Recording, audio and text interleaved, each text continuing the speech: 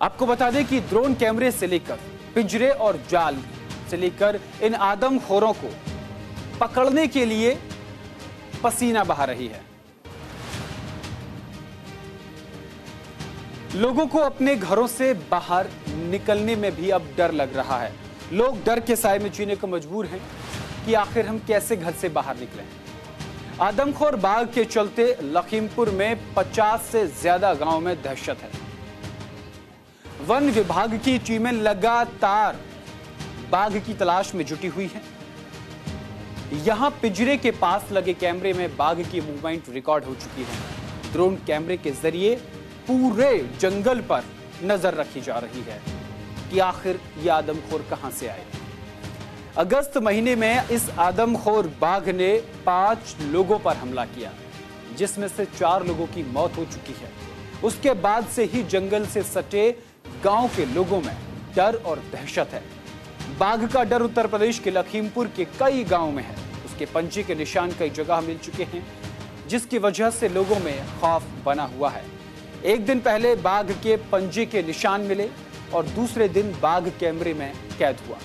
दरअसल वन विभाग ने आदमखोर बाघ को पकड़ने के लिए चार पिंजरे लगाए थे। पिंजरे के पास कैमरे भी लगाए गए थे। इसी के साथ दो ड्रोन कैमरों से निगरानी रखी जा रही है।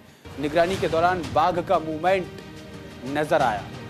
अब हम आपको बाराबंकी, बहराइच और लखीमपुर खीरी की तीनों जगह की तस्वीरें हम आपको दिखाते हैं कि वहाँ किस तरीके से तस्वीरें नज़र आ रही हैं।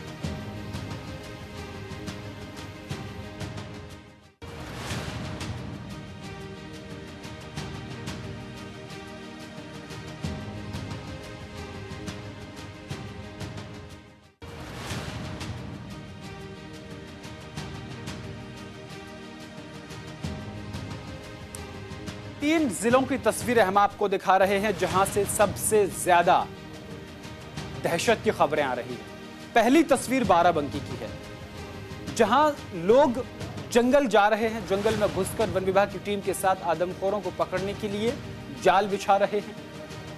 वन विभाग की टीम के साथ लाचेंडे लेकर चले हुए दूसरी तस्वीर बहराइच की है, जहाँ कमिश्नर रात में वहाँ पहुँचे और लोगों के साथ बैठक की और उनको, उनकी सुरक्षा की ज़िम्मेदारी ली और उनको आश्वस्त किया। तीसरी तस्वीर लखीमपुर खीरी की है। यहाँ पर लोग ड्रोन कैमरे के ज़रिए नज़र रख रहे हैं। कैमरे लगाए गए हैं। गोप्रो भी लग, जहाँ बैठकर वो आदमखोर हो गया। मानव सभ्यता को अपना खाना बना रहा है। इंसानों को अपना खाना बना रहा है। 27 अगस्त पर चलते हैं। 27 अगस्त को घटना हुई इमलिया गाँव में। इमलिया के रहने वाले किसान को बाघ ने अपना निवाला बनाया। वो अपने परिवार के साथ खेत पर चारा लेने गया था और उसके बाद उस पर हमला कर दिया और इन चारों की मौत हो गई। अब हम आपको बताते हैं कि आखिर ये तीन बाघ हैं कौन? कौन है तारा सिंह, मुस्तफ़ा और छेदी लाल? हम बताते हैं। दरअसल ये जो नाम है, उनको हम आपको ग्राफिक के ज़रिए बताएँगे कौन है। देखिए, सबसे पहले, कौन है तीन बाघ कहाँ से आए? देखिए, ये जो तस्वीर आप देख रहे हैं बाघ की ये तारा है।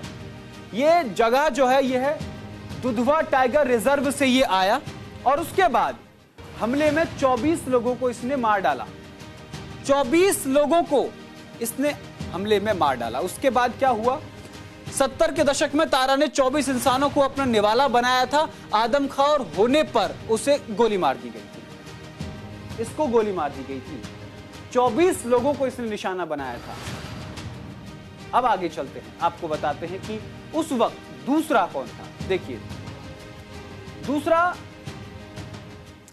छेदी सिंह। छेदी सिंह इसका नाम है जिसकी तस्वीर हम आपको दिखा रहे हैं। लखीमपुर खीरी, इसी जगह पर हमले में नौ लोगों को मार दिया था। लखीमपुर खीरी कैसे पहुँच जाते हैं, ये हम आगे आपको ग्राफिक के ज़रिए भी बताएँगे। इन्होंने क्या किया? इसने कि नौ लोगों को मार डाला था, लखीमपुर खीरी में ही। खीरी के छेदीपुर गाँव से उसे पकड़ा गया था, इसीलिए छेदी सिंह इसका नाम पड़ा। 2016 में उसने तीन महीने में नौ लोगों को मारा था, लखनऊ चिड़ियाघर उसको भेज दिया गया था। तो अब इसके बाद नंबर आता है मुस्तफ़ा का। आखिर ये मुस्तफ़ा कौन है? देखिए, ये मुस्तफ़ा है। लखीमपुर खीरी, ये इसने भी अपनी जगह लखीमपुर खीरी ही बनाई थी। इसने क्या किया? हमले में छह लोगों को मार डाला था। पहले छह लोगों को मार डाला था। आपको बताते हैं कि 2017 में मुस्तफाबाद गाँव से पकड़े जाने पर इसका नाम मुस्तफ़ा रखा गया। नाम पर मुस्लिमों ने आपत्ति भी जताई कि आदमखोर बाघ को मुस्तफ़ा नाम कैसे दिया जा सकता है। मुस्तफ़ा नाम हमारे रसूल का है। वन विभाग को इस पर सफ़ाई भी देनी पड़ी थी। हालाँकि इसको भी पकड़ लिया गया। तो ये वो तीन आदमखोर थे। जिन्होंने पहले भी लखीमपुर खीरी और उसके आसपास के क्षेत्र में